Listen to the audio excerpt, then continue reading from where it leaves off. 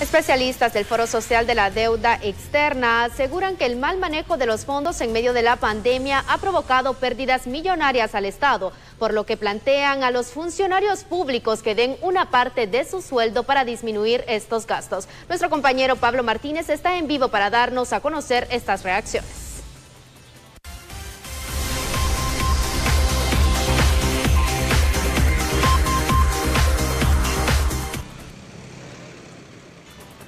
Muchas gracias, eh, compañeros en estudio, televidentes, en compañía de Alejandro Cafati, quien es economista del FOSDE. En los últimos días y tras el manejo de esta pandemia, Alejandro, se ha mencionado mucho que los fondos eh, han sido muy irregulares en cuanto a su manejo. Y es evidente que ya se han invertido algunas cosas, pero faltan también algunos insumos, todavía hay mucha carencia en el tema hospitalario. ¿No será conveniente que los funcionarios públicos que en este momento no están, digamos, desempeñando sus funciones puedan renunciar su sueldo y estos fondos ser transferidos para el manejo de la pandemia. Sí, sin duda alguna. Sabemos que la gestión eh, del COVID-19 en el país ha sido mal manejada y que esto ha repercutido entonces en casos, el incremento de casos positivos y el incremento lastimosamente de personas que han fallecido a consecuencia de la enfermedad.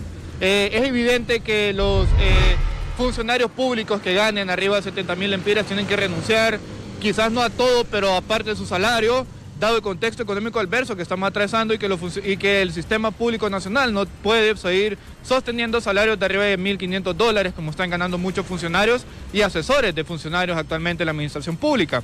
Y ese dinero tiene que ser redirigido entonces a la compra de insumos y material eh, para atender la pandemia del COVID-19.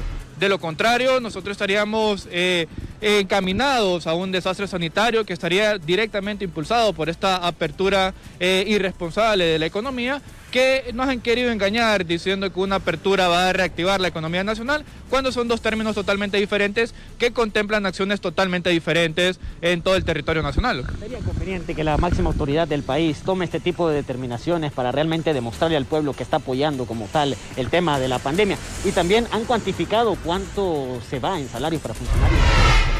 Bueno, eh, es importante que, lo tomen, sin embargo, también es importante que lo hagan no como una medida eh, populista o como una medida partidaria para ganar votos de cara al 2021, que es un año electoral, ¿no? Eh, y las pérdidas de los sueldos y salarios, perdón, y y, los, sueldos y salarios en el estado de Honduras representan al menos 64 mil millones de lempiras de forma anuales en toda la administración pública, incluyendo la centralizada y la descentralizada.